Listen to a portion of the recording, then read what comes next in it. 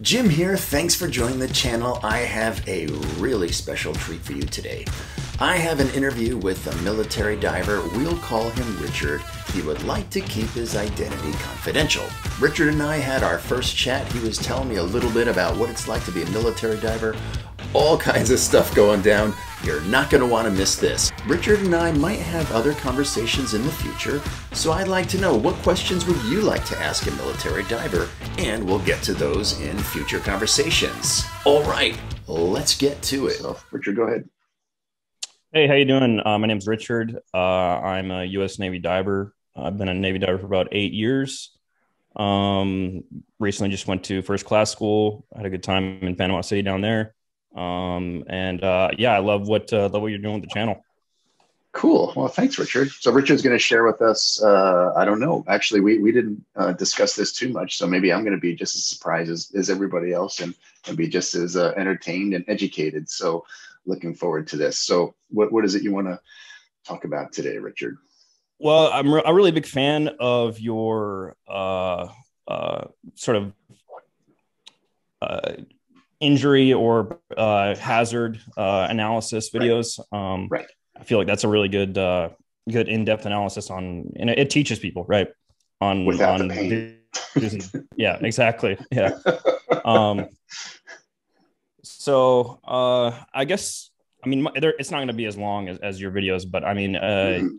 but I do have a, a bunch of them that I can talk Okay. about. So the, um, I guess the the you want me to just, just jump right into it? Yeah, yeah. Let's let's hear. Th- th- This is uh, is exciting. So the- these are things that are are um, I don't know if I can say. So these are Navy Navy diver incidents. Is that what these are? Like training incidents or something like that? Um, Op- well, operational op- operational incidents, yeah, I would suppose it would be the, uh, not not not nothing too serious. I'm not gonna, you know, and, and if anybody get hurt, I'm not gonna actually talk about it. But you know, at the end of the, I'm gonna talk about the ones where the guy showed up at the keg party that night. You know what I mean? Okay, sounds good. Sounds good. yeah, yeah. All right, mate. Let's hear it. Um, so we were diving in um, quite cold water. It was up north. Um, and we had an officer that wanted to get in. It was like one of our first days up there. Um, and that's always a bad op. That's always a bad operation when an officer wants to get in because uh, Serious. they because they don't they don't dive. I mean, oh man. Okay. they're, they're Uh-huh. mostly sitting sitting in the office you know what i mean so it's Right. it's one of those situations where it's just like I, I mean i can't tell them no you know what i mean yeah, yeah. That sounds like me a little bit. So you it was dry suits or uh no wetsuits What seven mil okay, but it was it was pretty cold. it's quite cold it was quite hot out that day i think it was in Uh-huh. i mean uh, relatively hot but it was like 85 and then the water temperature was probably in the 40s i would say Mhm, mhm. Okay, gotcha. Um, so this is at the end of the day. I mean, it's like five o'clock. We're all ready to get, roll out and grab a beer. You know what I mean? yeah. And uh, he he jumps in the water. Everything's going fine. He gets to about 15 feet, um, and he just starts. We have uh, comms, right? We so we can talk to each other. Full face. Um, uh, yeah, full face mask. Um, Uh-huh. and he just starts hacking up a lung, and he we're just we keep asking him, "Hey, are you okay? Are you okay?" He's like, "I'm fine. I'm fine. I'm fine." And you know, eventually, after like five minutes, we're like, "All right, just calm down." You know, just c- controlled ascent, make your way up. You know, we got to figure out what's and going you're on. right here there with him, this is- right? yeah, yeah, I'm right there with him. Yeah, Yeah. yeah, I'm like, I'm like holding him the entire time Yeah. Yeah. you know you know nothing too panicky or anything like that it was just Mhm. like it was weird it was just something was really really weird was going on Right. um do, do you know where i'm going with this because this is a rare rare disorder. But it's not the chokes from DC. no no no no Okay. no we're only at we're only at 15 feet you know Hmm. um so may- maybe you haven't even heard of this because it's so rare Hmm. but he we, he gets up and he actually starts spitting up like a little bit of blood like there's blood in his lungs Yeah. so he's like hacking up there he's hacking up like brown you know reddish brown stuff Mm. he's doing fine i mean he's breathing you know what i mean he's he- Mm. he's uh not panicking or anything like that so we're not too worried about it we take him to the hospital Yeah. um and we're all we're all in our just getting in our books. You know what I mean? Like we're like, Mm. what is this? Yeah. Because I, we haven't seen it before. right. Um, and it turns out, do, do you know what it is? no. Um, immersion pulmonary edema. So he jumped in. It's like 85 degrees out. He when he jumped in the water, all of the blood from his extremities went to his core Hmm. and it filled filled his lungs with uh, blood. Hmm. Would never have guessed that. Right. Me. Yeah. So, so it didn't have as much to do with the depth as it did with the temperature difference. yep. It was all temperature. He could have been. He could have just jumped in the water, and not even had any scuba gear on or anything Oh, like that. grief! Yeah, I've never heard of anything like that. I mean, everything everything worked out fine. You know, we just Yeah. he's we put him on oxygen, took him to the hospital, um, and you know he was out at the bar with us that night. But you know, it was just one of those one of those scary things. You know, Hell yeah! it's Oh, so weird. goodness. It's so weird. Yeah, you know, I, I um I had a few run-ins with that sort of thing at altitude. Like when I was in the Himalayas, uh, people would get that um, have to take an emergency trip down. But uh, wow, that sounds really acute. I've never. That must have been intense, me. Because I would have thought the worst thing. I would have thought this guy's lungs blew up. You know, was what I would. Right. All I would have thought. Uh, it wasn't it wasn't all that dramatic. I mean, he we did a full uh, neurological examination on him. Obviously, um, got him on O2, but he was he was breathing. You know, he was doing fine. He just Right. It just like every like three seconds, you would just be spitting up blood. Wow. Can you say what, Really what was the original uh, objective of that dive? Can you say, or was there? Yeah, yeah, yeah. That's no problem. We were actually um, it was in the Pacific Northwest.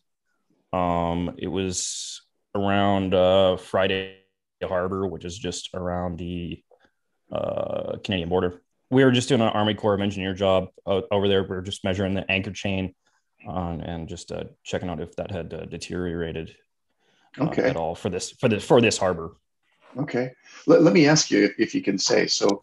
I'm, I'm kind of curious. Now, so I'm I don't technical dive much anymore, right? I mean, I was a technical instructor and I used to do a, a fair number of technical dives, and and I know what technical dive planning, right? Technical dive planning for me, you know, in the beginning, it's almost kind of boring, right? Because actually, every minute of that dive, essentially, I know what depth I'm going to be at and how long I'm going to be there, and pretty much what I'm doing. So so is is military diving kind of more like that i mean as opposed to recreational where you say hey we, you know we're just going to go down to 30 feet and swim around until such and such a limit and there's much more freedom what are the what's the planning with the the military dives like Uh, no, I just every every second is is planned out. You know what I mean? It's it's more like that, but it's not necessarily about the depth or anything like that. It's mostly about the task that you're trying to do.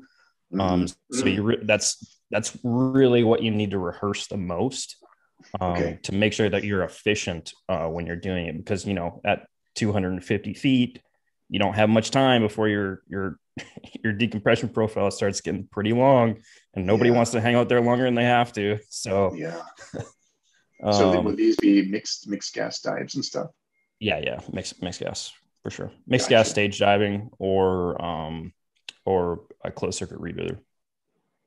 have you pardon me have you ever used a rebreather Yep, yep.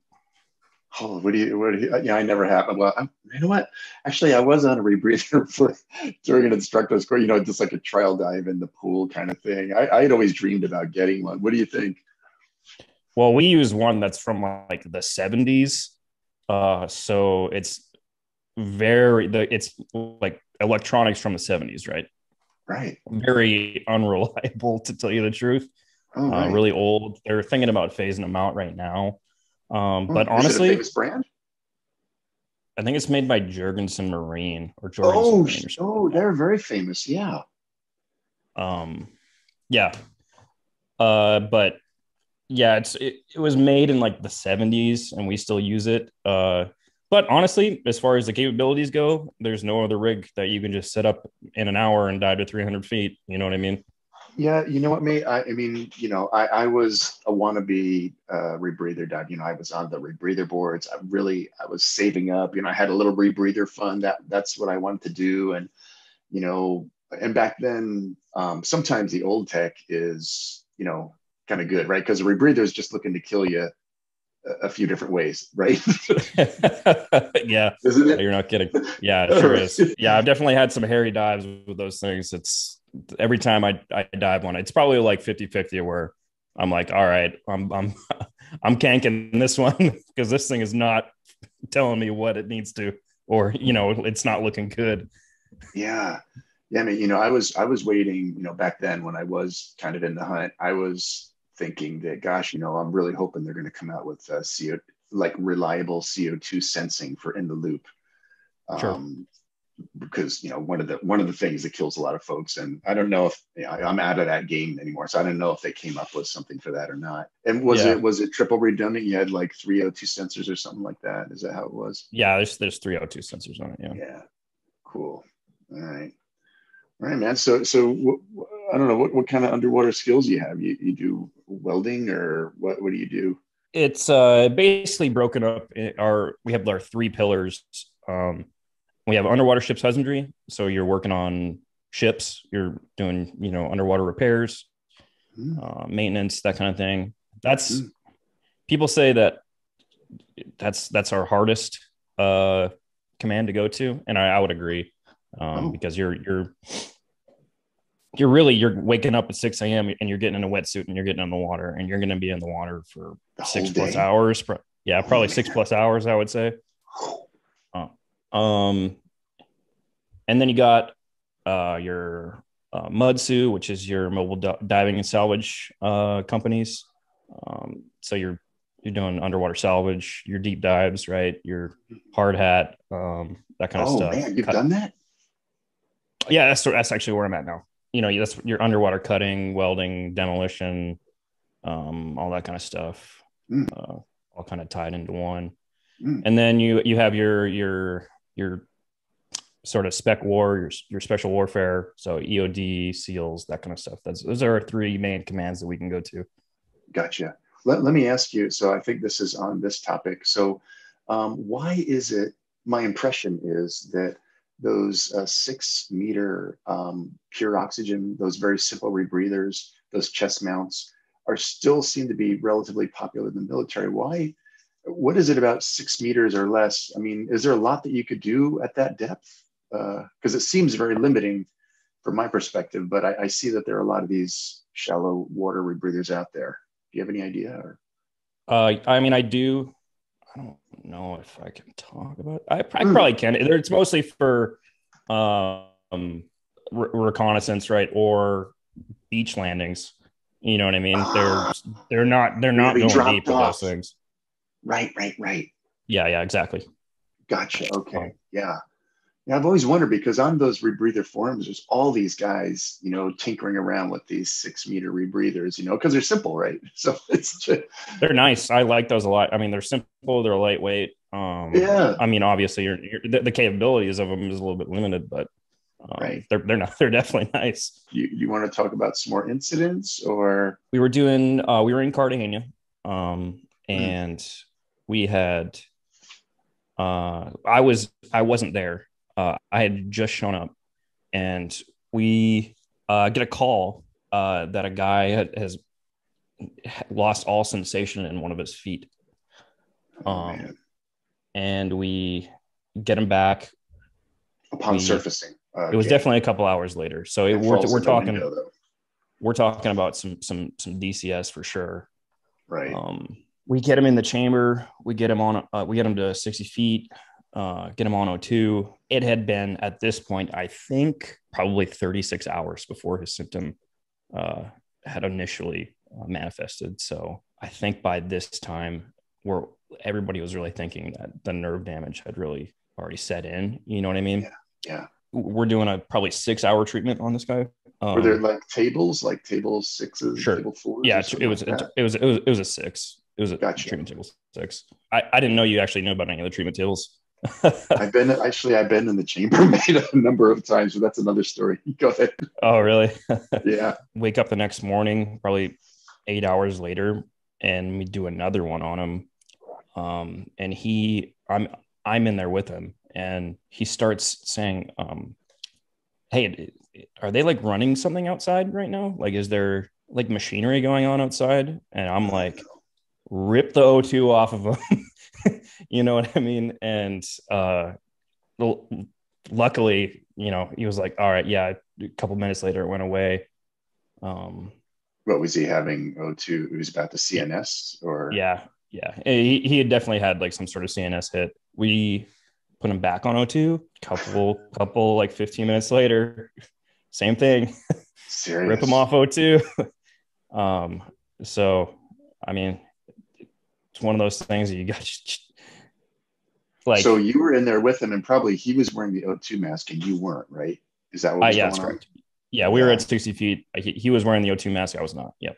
Yeah. Um, and what was it? Part, pardon me, because you know people are going to watch this. So, and, and I, I don't recall the difference between a table four and a table six. Is a table six the one where it's a long one, it's like four hours long, or is treatment how, table six? Uh, it's I think it's about six hours. I think. Oh yeah, yeah, okay, yeah. All right, okay. It's yeah. like six hours. Like, it's like six hours and thirty minutes or something like that right but that's one of those things that i was i saw had saw on your video was talking about like when you like am i fu- am i messed up right now am i not you know what i mean is am i mm. is my foot just cold mm. like you, you need to bring that that up to other people like immediately yeah well that was uh you know my my one video was talking about how good um DAN USA is you know those those docs on the phone man they are top notch yeah, those uh, and just looking on the forums of DAN is like super helpful um, yeah. for for just things like this, right? Just talking about yeah, yeah, particular incidents, um, yeah. like anecdotal stuff. Uh, yeah, always always good to hop on there and just and just look, just have. Oh look. man, isn't it? Back in the day, I was a, a moderator on ScubaBoard, so I spent a fair bit of time on there. And you know, my my overwhelming recollection was there would always be like seemed like at least once a month and, and more during the season, you know, be someone come on and say, Hey, two days ago, this happened to me and I'm feeling like this. What do you think? Everyone's like, why aren't you calling DAN already? You know, get on the phone, you know, get the process started. You know, it was always very often it was someone like after a day or two, you know, of symptoms, you know, getting on the forum. Sometimes you can just be like, uh, yeah, I think my toe is a little bit numb compared to I can't feel my legs. You know what I mean? Yeah, yeah, yeah, me. You know, and I don't know if uh, I, I, honestly can't remember if I had put this um, in there or not. But I, I, when you're mentioning about the the numb foot or leg, it was making me laugh because that's what happened to me. And uh, and as it turned out, it, it was my neck I think I yeah, saw that spinal. video. It's it would, yeah. it's not nothing diving related, right? At all. Yeah, got spinal degeneration. Although, although you could argue it is, uh, and I'm going to make a video about this someday. It is diving related because, you know, these days, for me to maintain um, a nice uh, trim in the water, it, it's it's really stressful on my neck, and it causes now all kinds of numbness all over my body. I'm getting old, man. Oh wow. yeah, yeah, yeah, yeah. That's, uh, that's crazy yeah, it's unfortunate. Yeah. So when you guys do uh, chamber work, so uh, probably you've got what a hyperbarist on hand or something like that, always on call. Nope, it's just us. Serious? Yep, it's just us. Is that That's all legit? That's legit, Holy cow, man. man. Holy cow! We do have uh, we do have a diving medical officer that we can call, um, right? But for the most part, as far as physically being there, it's just us. We're running a chamber. We're doing it all. So how big? How big was that chamber? The chamber was quite big. Um, uh, I don't know uh, how many cubic feet it is, but you could yeah. almost. You, it would probably about like shoulder height. I would say you couldn't stand up all the way, but you could almost get there. How, how many people could that thing accommodate? Um, I mean, we have different ones, but that one could probably accommodate um, two or three patients, I think. Yeah, the biggest one I was in here was kind of like a little uh, camper van kind of thing. I mean, you, there were four people. Uh, biggest, either four people in there on lawn chairs with masks on. Oh, really? Yeah. See, I, have I've heard about things like things like that uh, before, and it seems a little bit sketchy to me. How how fast can you press those things? Can they like send it down all the way, or, or are you just going at like two or three feet a minute? because I've heard most of the time when you go to those things, it's just like you're just waiting there to get to 60 feet or wherever you're going. yeah. It was, well, it was a really unsatisfying process because what, what I've heard, um, yeah, like like when I read the forums uh, in the states, people who've done hyperbaric treatment, it feels like in the states, well, first of all, these chambers are open all the time, and second of all, they're not that busy, and third of all, the the docs seem to be very much you know, you've got one patient and, you know, we can run the tables as they're going to suit you. It's like, oh, okay, well, you still have a little bit more symptoms. All right, well, you know, let's run another table this or table that. Whereas in my case, oh, yeah, you're coming once in a week, no matter what your symptoms are, how severe or whatever. Oh, you still mm. feel bad? Okay, next Tuesday. you know, so yeah. it was pretty unsatisfying. I would be yeah. a little bit frustrated, honestly. You know, if you're if you're a person who's traveled around the world, there's nothing worse than uh, being not in your country and being sick, right? I mean, that's yeah. when, you know, if there's a language barrier and a cultural barrier, it's a bad situation. Do you speak Japanese? Just you would think, but not so it's the one thing I could do to really improve my quality of life here, and I got to say, I, my my skills are, are are limited. To be kind to myself. So tell me some diving. What do you call that? It's not.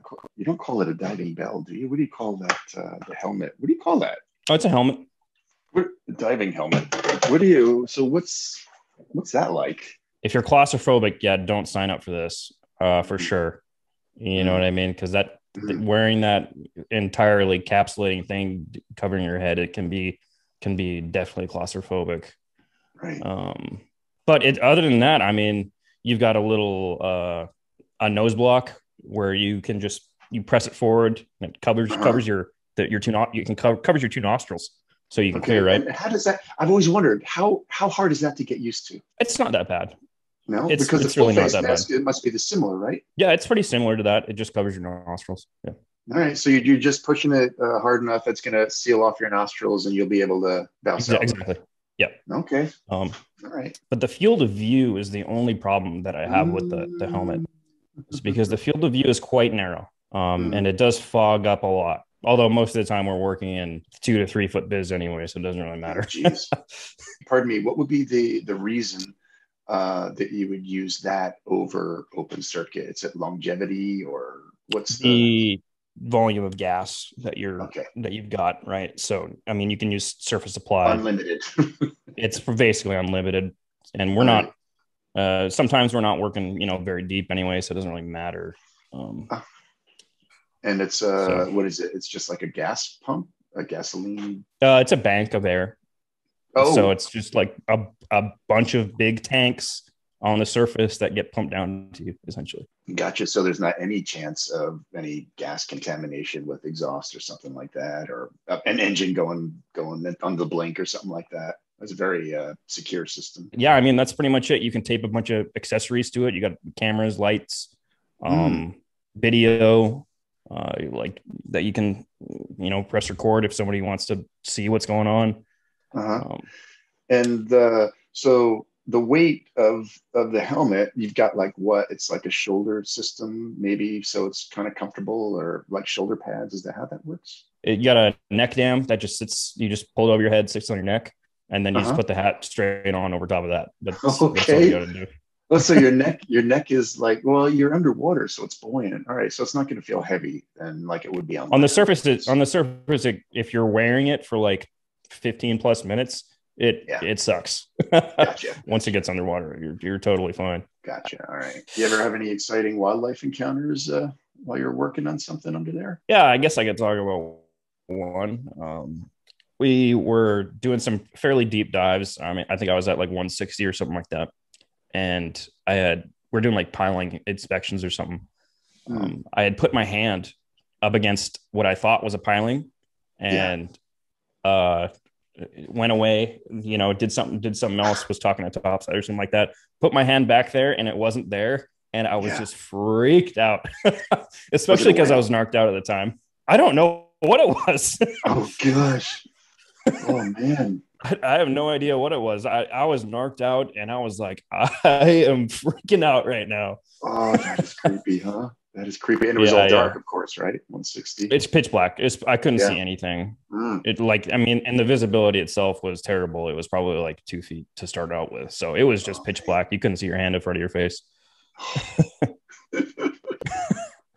yeah. I, I almost I almost had a, uh, a giant manatee blow through me uh, on a night dive once, and I that freaked me out because I, I looked and I just saw a moving wall and I didn't know what it was, and then I figured that was a manatee. But I would have freaked if that would have plowed into me at night. oh yeah, manatees are like scary. I think manatees are kind of scary.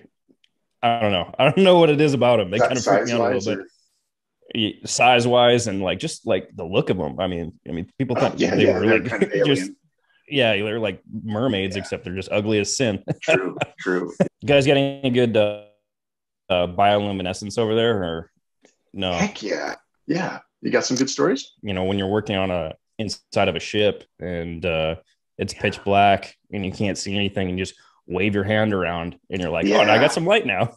yeah, yeah, yeah. Here's a question that I that I have that came up in a forum recently.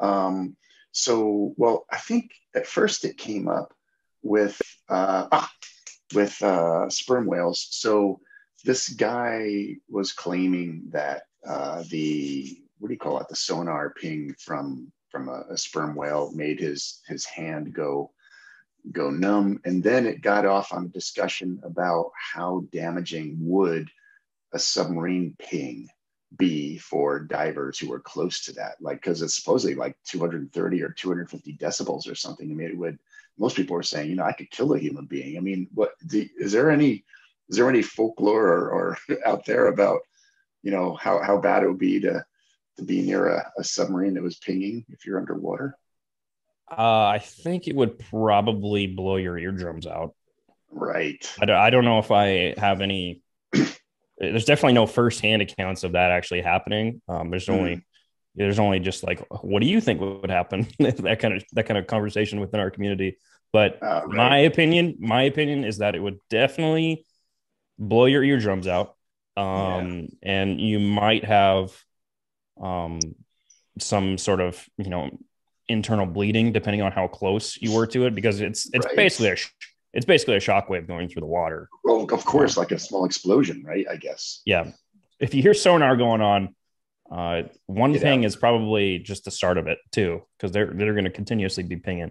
So if you ever Got hear it. sonar in the water, uh, just get out. Got it. Okay you know, I mean, it, it actually, you know, kind of, it kind of freaked me out just once. I was uh, at a very common dive spot here, and the water's very, very deep there, right? So, as you know, one, one of maybe, you know, like one of the interesting things about Japan is it, it gets deep really quickly mm-hmm. off most of the shores here, and there is yep. a spot where uh, between the dive site and Numazu, the nearest city, it's like a kilometer deep there, and I was just entering in the water and I looked over and like, I don't know, 500 meters away, there was a submarine going like going down. And I was like, I started to freak a little bit because I started thinking, well, what happens, you know, if this thing starts doing, you know, pinging down there. I was, but I said, you know, he has to know because a very famous dive site. He has to know we're all here. I'm going to guess that he's not going to be, uh, you know, doing doing silly things. But but I was kind of, you know, it was, was playing with my head a little bit.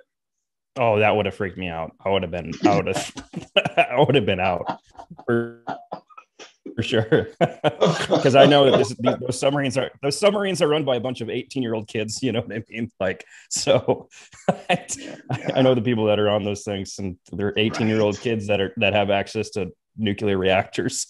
oh, good grief! Yeah, so. yeah. So yeah, I didn't. Yeah, yeah, I didn't. I didn't hear anything. I didn't have any choice. I was probably leading a dive or something. So yeah. How about the whole, um, what do they say, the reputation of bend and mend for Navy divers? Is there any truth to that?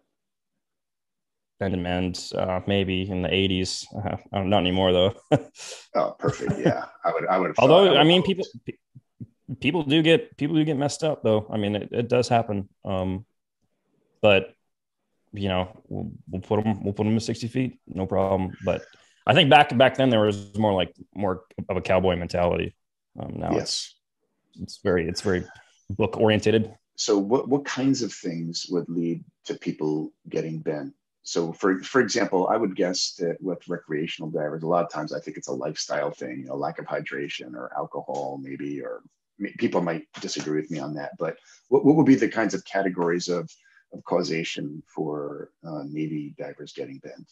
Uh, well, I mean, it, for lack of a better term, I think uh, fat people, honestly, because uh, fat uh, absorbs five times more nitrogen or inert, gas than uh, than muscle does. So if you got a lot of fat on you, um, it also um, off gases. It on gas is slower, but it also off gas is slower, right? Um, Yeah. So that, that that is I think is the main attributing factor to to DCS, in my opinion. I don't, I'm not a doc- I'm Yeah. not a doctor. I'm not Yeah. a doctor. I just know I've read a couple books though, so that's that's the only thing that I can tell you. and and may I, I I I feel your your sensitivity to this because it, it's it's not a very it's a politically sensitive thing to talk about these days, right? So this one technical dive buddy of mine, he actually got bent twice. when We dove together and we did same gases, same profiles, everything, you know, minute by minute, depth by depth, and both times uh, he got bent and. Um, you know, then later, you know, he was quite a bit heavier than me and, and he went on a pretty strict diet after that. And he never had issues after that. He went on to be a rebreather diver. You know, yeah, he figured that, that body fat had something to do with it as well. Yeah, that's basically the main attributing factor, and that's I mean, we got you know physical standards in the Navy for a reason, especially Navy divers. You know. So are there like body fat uh, standards or, um, there is Navy wide, uh, but there's there's no um, higher standard for Navy divers than there are for anybody else. But there is um, a higher uh, physical standard. Yeah, nice. what's it's your favorite cool. dive movie? Dive movie. Yeah. Uh, I think it's a documentary. It, it's called uh, Last Breath. Ah, Check it what's out. that one about?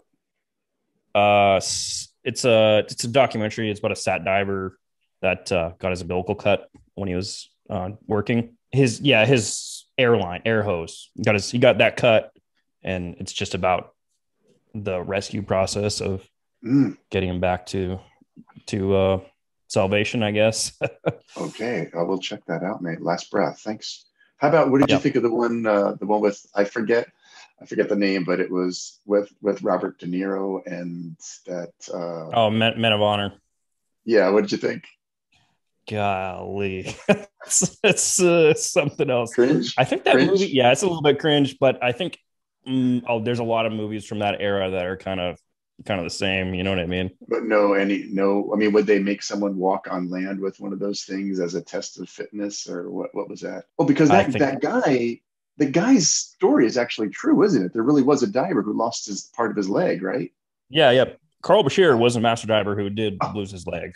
Yeah. Gotcha. All right. so, Um, so what about the fitness then? Would they make someone walk on land for something like that? I, I don't know. Maybe it's possible, but in a courtroom, Right. I don't know. I don't yeah, think yeah, so. yeah, yeah. It's good for the movie, right? Is there any association with any particular dive agencies with uh, the military training? How does that work? Uh, ADCI is uh, accredited divers international. I, I can't remember what it stands for anymore. I never heard of that. Is Uh, that like more commercial in in? Uh, Hold on, Practice or- I got to look it up. yeah, I haven't heard of that. Association of Diving Contractors International. Okay. That's what it is. So that that is like more commercial.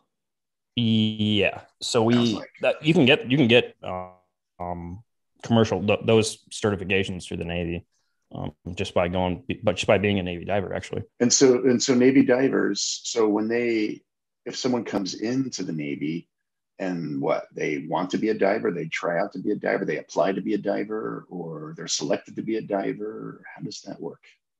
Uh, well, I mean, I guess I could just tell you my story about uh, becoming one. I mean, I was 17 years old and I had just moved to a new state. It wasn't making enough money anywhere. Didn't really want to go to school. Uh, was pretty much working a dead end job. My dad was in the Navy. So I was like, well, you know, he, he's in the Navy. He just has a bunch of stories about him just getting wasted all the time. It sounds like a pretty good time. Tra- traveling the world, right?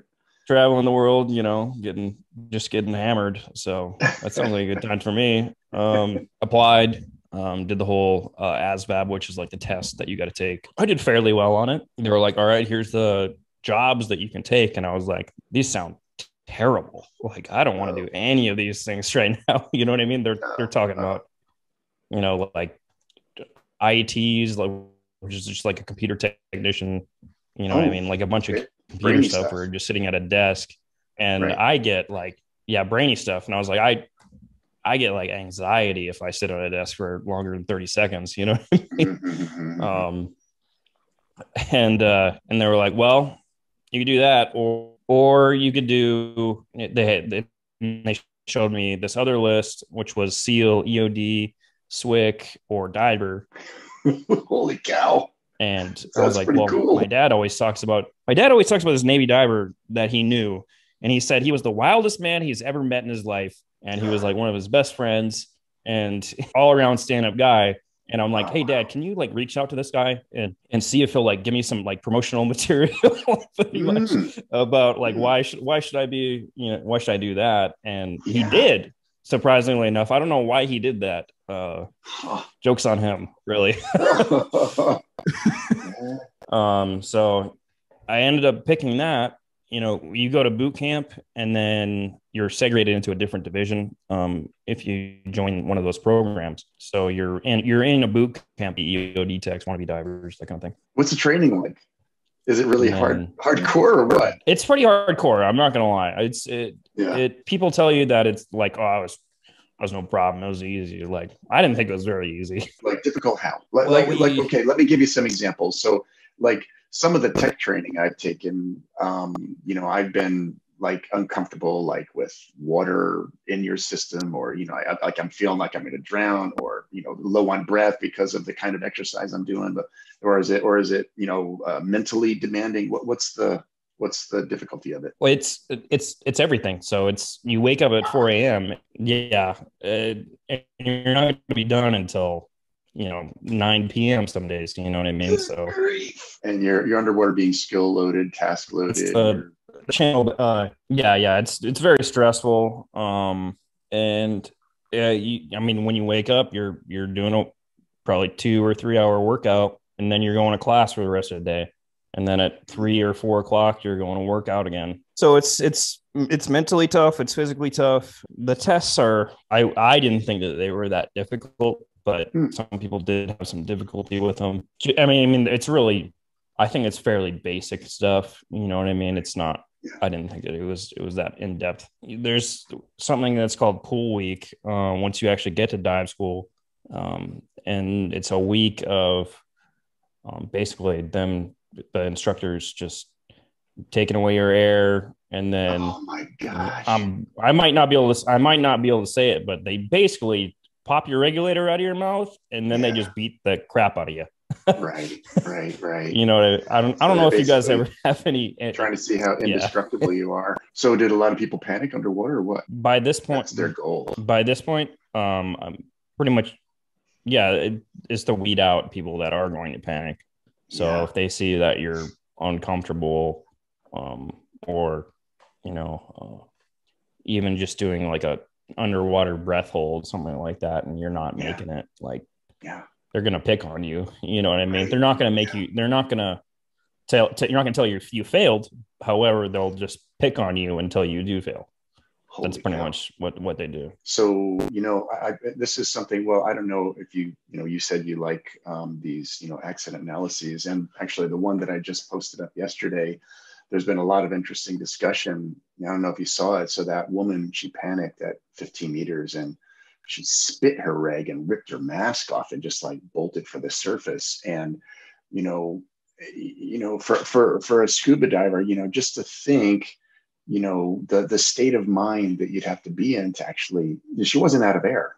You know, there was plenty of air in the reg. It was just, you know, felt the compulsion to spit the reg and throw the mask off. You know, just the state of mind you'd have to be in to to think, you know, you're not thinking, but you know, to feel that that's the best recourse, man. It, it's it's got to be a dark place to be. Oh yeah, I can't even imagine what was going on in her head to to be able to do that.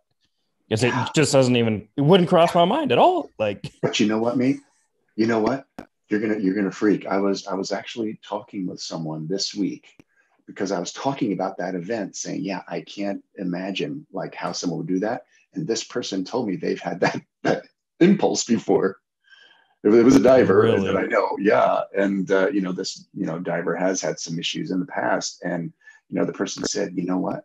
I know exactly what that person was because I I felt that. You know, I felt that. You know, yeah. I mean, I just wanted to get the reg out of my mouth because I knew there was better air at the surface, and it didn't make sense but that was just the impulse I was going through, and I was like, "Holy cow, man!" Yeah, that is that's wild. And, and I mean, you know, I, you know, you know, I'm sure you know you've you've been around your your share of panic divers, and maybe maybe even I've been around more because they're they're less highly trained. But um, yeah, I am very very interested in the mechanism and the mechanics of panic because yeah, it's very real, right? Yeah, that's definitely the. Well, I mean, that's the number one killer, right? And that's what we get taught from day one: is panic is is the the number one killer of divers. Mm. People who panic. Yeah. I think I just to put it put it all in perspective is uh Mm. we went from we started with 41 and I think we ended up with 12. Mm. So and that what was, the was- period of time? Five months? Oh wow, that's oh that's intense, man. And you learned like uh, skills also, like welding underneath underwater and stuff, or that all comes later. Uh, they you learn how to not kill yourself when you're welding underwater, but the actual skill of underwater welding probably comes a little bit later. Gotcha. Okay. yeah, yeah, that's what I would figure. Okay, gotcha. So, do you think you're going to go on to commercial diving someday? Is that is that a an ambition? Is that a good? Yeah, is that a good yeah. career? Is that a good career? I don't think recommend so. I would I Oh. would not recommend that. Oh, okay. No, Gotcha. I actually wouldn't. It's for Alright. it's if you if you've got a right mindset and everything like that, it, you're it's a good career, but it's Got yeah. Any any last thoughts you want to wrap up with, or any final sentiments you have? um I mean no, I really appreciate your channel. Uh, really good. I think you're about probably about to blow up here pretty soon. So just keep doing what you're doing. You really think so? Yeah, man. No, you're putting in the effort. You're putting in the effort. Oh, and man, I'm you- trying. You've got you've got the good backgrounds. Richard, thanks so much for coming on the channel and sharing your knowledge and your experience. I'm sure everybody uh, really enjoyed that and learned a lot, myself included. Also, I, I and I'm sure everyone watching would like to thank you for your service. In the comments, post up any questions you might have for Richard for this or for a future video. And of course, as always, hit the like if you got something out of it. And if you think this channel is something you'd like to watch in the future, go ahead and subscribe. Thank you all, and I'll see you on the beach.